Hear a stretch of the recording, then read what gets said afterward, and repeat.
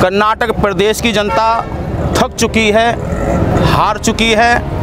अब कर्नाटक प्रदेश में, कर्नाटक प्रदेश बदलाव चाहता है और बीएसपी की सरकार चाहता है।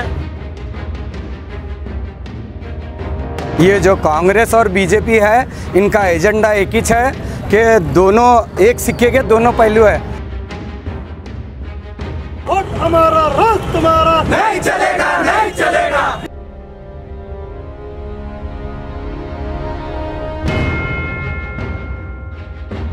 जी तुम संघर्ष करो। हम तुम्हारे साथ हैं।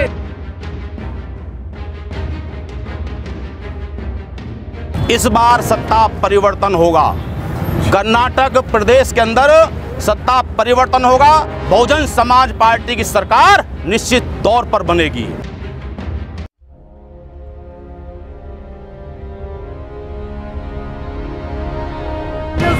क्या पहचान नीला झंडा आगे निशान This video present by Raidan Multi Cuisine Restaurant, variety of traditional foods, Arabian, Turkish, Middle East, grand interior, genuine spices, hygienic kitchen, address Tipu Sultan Chowk, Ring road Gulbarga. ये हमारे जो कर्नाटक स्टेट के प्रेसिडेंट हैं जो continue पूरे state में अच्छा खासा काम कर रहे हैं और क्या है, हमारे जो दिनेश गौतम। साहब कंटिन्यू लीड में हैं और हमारे डिस्ट्रिक्ट प्रेसिडेंट पूरे मिलके इतनी मेहनत कर रहे हैं बीएसपी के लिए।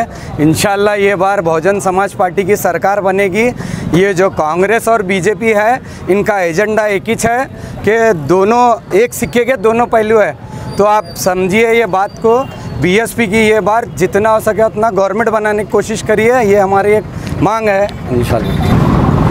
कर्नाटक, प्रदेश के वासियों ने कर्नाटक में कांग्रेस की भी सरकार देखी है, भारतीय जनता पार्टी की भी सरकार देखी है, और जेडीएस की भी सरकार देखी है। और तो और कर्नाटक के प्रदेश के लोगों ने प्रधानमंत्री भी देखे हैं। यहाँ से प्रधानमंत्री भी चुने हैं। लेकिन अब कर्नाटक प्रदेश की जनता थक चुकी है, हार चुकी है। अब कर्नाटक प्रदेश में, कर्नाटक प्रदेश बदलाव चाहता है और बीएसपी की सरकार चाहता है। बहुजन समाज पार्टी के कार्यकर्ता जिस तरह से पूरे कर्नाटक प्रदेश के अंदर संविधान बचाओ, देश बचाओ अभियान जो चल रहा है, ये कार्यकर्ताओं का जोश ये बता रहा है और पूरे कर्नाटक के लोगों को दिखाई भी दे रहा है, इस बार सत्ता परिवर्तन होगा। कर्नाटक प्रदेश के अंदर सत्ता परिवर्तन होगा, बहुजन समाज पार्टी की सरकार निश्चित तौर पर बनेगी। अब जो आने वाले जो चुनाव हैं 2024 में, उससे पहले 23 के चुनाव है विधानसभा के। हम कर्नाटक स्टेट के अंदर ये दिखा देंगे कि यहाँ कर्नाटक स्टेट के अंदर बहुजन समाज पार्टी भी अपनी सरकार बना सकती है। कार्यकर्ता भूखे रह करके, प्यासे रह करके ईमानदार से जो काम करते हैं, उनकी मेहनत बेकार नहीं जाएगी, उनकी मेहनत रंग ज़रूर लाएगी। और 2024 के चुनाव में मान्य बहन जी इस देश की प्रधानमंत्री बनने के लिए जा रही हैं। हम लोगों के पास में ये गोल्डन चांस है, क्योंकि केंद्र की सरकार ने जो पूरे देश के अंदर जो भ्रष्टाचार किया है, जो अन्याय किया है, जो चल रहा है, जो देश का जो ग्राफ दिन पे दिन गिरता जा रहा है उससे कोई छपा नहीं है। अच्छे दिन किसी के नहीं आए।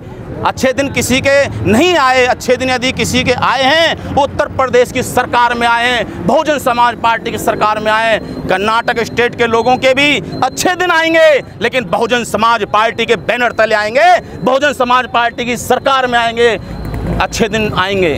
तो मेरा सिर्फ़ यही आप लोगों से कहना है मीडिया के माध्यम से आप लोगों का मैं धन्यवाद करता हूँ। आप लोग हमारी बात को पूरे कर्नाटक के बीच में बता रहे हैं, फैला रहे हैं। हमारे बहुजन समाज पार्टी कार्यकर्ता दिन रात मेहनत कर रहे हैं। अपने खून पसीने की कमाई से इस मूवमेंट को चला रहे हैं। हम लोग ज़रूर सफल होंगे।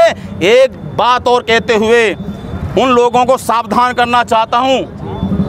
जो जो लोग ये सोचते हैं कि हम जीतते आ रहे हैं बार बार जीतते आ रहे हैं हमेशा एक बात ध्यान रखना बार बार जीतने वाले की एक दिन हार ज़रूर होती है और बार बार हारने वाले की एक दिन जीत ज़रूर होती है। इसलिए कोई भी युद्ध अंतिम युद्ध नहीं होता, कोई भी चुनाव अंतिम चुनाव नहीं होता, ठीक उसी तरह से कोई भी हार, अंतिम हार नहीं होती। हम कर्नाटक स्टेट के अंदर 100 परसेंट सरकार बनाने जा रहे हैं और हमारे बहुजन समाज पार्टी के कार्यकर्ता तन मन धन से लगे हुए हैं। मुस्लिम समाज जुड़ रहा है, ओबीसी समाज जुड़ रहा है शेड्यूल ट्राइब जुड़ रहा है। अभी अभी शेड्यूल ट्राइब समाज के लोगों ने जो जो स्ट्राइक किया था, उसमें बहुजन समाज पार्टी का सहयोग था, समर्थन था। इसीलिए उन लोगों ने शेड्यूल ट्राइब के लिए थ्री परसेंट से फोर परसेंट और अप करके सेवन परसेंट रिजर्वेशन दिया।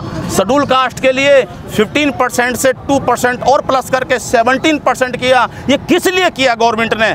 Bahujan Samaj party national party है। नेशनल पार्टी के दबाव में किया है। लेकिन बीजेपी ने कर तो दिया है, लेकिन वो उसको इम्प्लीमेंट नहीं करेगी। बहुजन समाज पार्टी जब सरकार बनेगी तो इसको इम्प्लीमेंट करने का काम करेगी इसी के बाद साथ में आपकी बात को विराम देता हूँ जय भीम जय भारत जय काशीराम जी धन्यवाद ಬಹುಜನ್ ಸಮಾಜ್ ಪಾರ್ಟಿ ಕರ್ನಾಟಕ ರಾಜ್ಯಾದ್ಯಂತ ಸೆಪ್ಟೆಂಬರ್ ಇಪ್ಪತ್ತೆಂಟನೇ ತಾರೀಕಿಂದ ನಾವು ಸಂವಿಧಾನ ಸಂರಕ್ಷಣೆಗಾಗಿ ಜೈ ಭೀಮ್ ಜನಜಾಗೃತಿ ಜಾಥಾವನ್ನು ಹಮ್ಮಿಕೊಂಡಿದ್ದೇವೆ ಅದರ ಅಂಗವಾಗಿ ಇವತ್ತು ಗುಲ್ಬರ್ಗಾದಲ್ಲಿ ನಾವು ಕಾರ್ಯಕ್ರಮವನ್ನು ಮಾಡ್ತಾ ಇದ್ದೇವೆ ಇದರ ಭಾಳ ಪ್ರಮುಖವಾದಂಥ ಉದ್ದೇಶ ಏನಂತ ಹೇಳಿದ್ರೆ, ನಮ್ಮ ದೇಶಕ್ಕೆ ಸ್ವಾತಂತ್ರ್ಯ ಬಂದು ಎಪ್ಪತ್ತೈದು ವರ್ಷ ಆಗಿದೆ.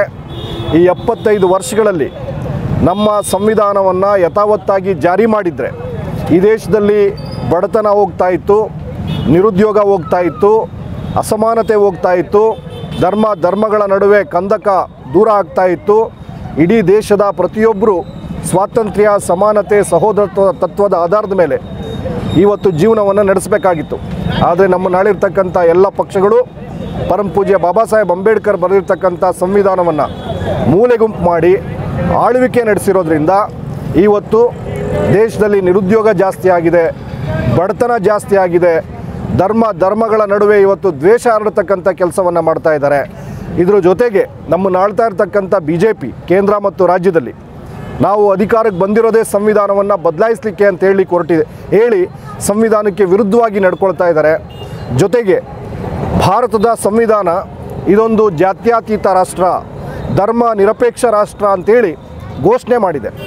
ಆದರೆ ಈ ಬಿ ಜೆ ಪಿಯವರು ಇದನ್ನು ಹಿಂದೂ ರಾಷ್ಟ್ರ ಮಾಡಲಿಕ್ಕೆ ಹೊರಟಿದ್ದಾರೆ.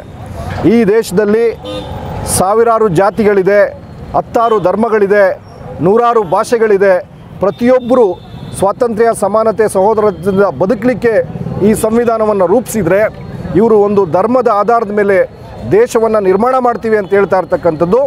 ಸಂವಿಧಾನ ವಿರೋಧಿ ಕೃತ್ಯ, ದೇಶ ವಿರೋಧಿ ಕೃತ್ಯ, ಇದನ್ನು ಖಂಡಿಸಿ ನಾವು ಇಡೀ ರಾಜ್ಯಾದ್ಯಂತ ಈ ದೇಶದ ಜನರು ಸಂವಿಧಾನದ ಆಶಯದ ಮೇಲೆ ಒಂದಾಗಿ ಬಾಳಬೇಕು, ಸಹೋದರತ್ವದ ಅಡಿನಲ್ಲಿ ಬಾಳಬೇಕು. ಹಾಗೆ ಸಂವಿಧಾನ ದೊರಕಿಸ್ಕೊಟ್ಟಿರ್ತಕ್ಕಂಥ ಎಲ್ಲ ಹಕ್ಕುಗಳು. ಈ ದೇಶದಲ್ಲಿ ಹುಟ್ಟಿದಂಥ ಪ್ರತಿಯೊಬ್ಬರಿಗೂ ಕಾನೂನಿನ ಮುಂದೆ ಸಮಾನರು. ಈ ದೇಶದಲ್ಲಿರ್ತಕ್ಕಂಥ ಪ್ರತಿಯೊಬ್ಬರಿಗೂ ಶಿಕ್ಷಣ ಸಿಗಬೇಕು. ಈ ದೇಶದಲ್ಲಿ ಓದಂಥ ಪ್ರತಿಯೊಬ್ಬನಿಗೂ ಸೂಕ್ತ ಉದ್ಯೋಗ ಅವಕಾಶಗಳು ಸಿಗಬೇಕು. ಈ ದೇಶದಲ್ಲಿ ಪ್ರತಿಯೊಬ್ಬರು ತನಗಿಷ್ಟ ಬಂದಂಥ ಧರ್ಮವನ್ನು ಸ್ವೀಕರಣೆ ಮಾಡ್ತಕ್ಕಂಥ, ಆಚರಣೆ ಮಾಡ್ತಕ್ಕಂಥ, ಸಂಘ ಸಂಸ್ಥೆಗಳನ್ನ ಕಟ್ತಕ್ಕಂಥ ಸ್ವಾತಂತ್ರ್ಯ ಅವ್ರಿಗಿರಬೇಕು ಅಂತ ಏನು ಸಂವಿಧಾನ ಹೇಳುತ್ತೆ. ವಾಕ್ ಸ್ವಾತಂತ್ರ್ಯವನ್ನು ಏನು ಸಂವಿಧಾನ ನೀಡಿದೆ. ಇದ್ರ ಜೊತೆಗೆ ಈ ದೇಶದ ಆಸ್ತಿ ಮತ್ತು ಸಂಪತ್ತಲ್ಲಿ ಏನು ಸಮ ಪಾಲ್ ಕೊಡಬೇಕಂತೇಳಿದೆ.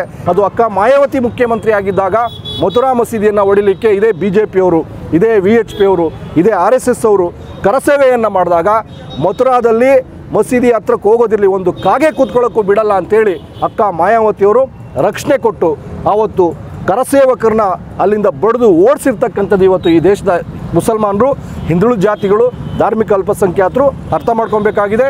ಬಹುಜನ್ ಸಮಾಜ್ ಪಾರ್ಟಿ ಹಿಂದುಳಿದ ಜಾತಿಗಳ ಧಾರ್ಮಿಕ ಅಲ್ಪಸಂಖ್ಯಾತರ ಎಸ್ ಸಿ ಎಸ್ ಟಿಗಳ ರಕ್ಷಣೆ ಮಾಡಲಿಕ್ಕೆ ಅದು ಬದ್ಧವಾಗಿದೆ. ಅವರ ಸಂವಿಧಾನಾತ್ಮಕ ಹಕ್ಕುಗಳನ್ನು ಜಾರಿ ಮಾಡಲಿಕ್ಕೆ ಬದ್ಧವಾಗಿದೆ.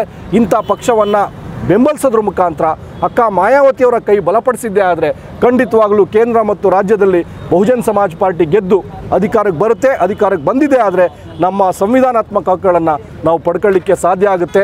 ಆ ನಿಟ್ಟಿನಲ್ಲಿ ಬಿ ಎಸ್ ಪಿಯನ್ನು ಬೆಂಬಲಿಸಬೇಕಂತೇಳಿ ಈ ಸಂದರ್ಭದಲ್ಲಿ ಕೋರ್ಕೊಳ್ತಾ ನಾವು ಈ ಜಾಥಾವನ್ನು ಇಡೀ ರಾಜ್ಯಾದ್ಯಂತ ಎಲ್ಲ ವಿಧಾನಸಭಾ ಕ್ಷೇತ್ರದಲ್ಲಿ ನಾವು ಮುಂದುವರಿಸ್ತಾ ಇದ್ದೀವಿ. Thank you very much Krishnamurthy M, Bahujan. Samaj party ರಾಜ್ಯಾಧ್ಯಕ್ಷರು. Thank you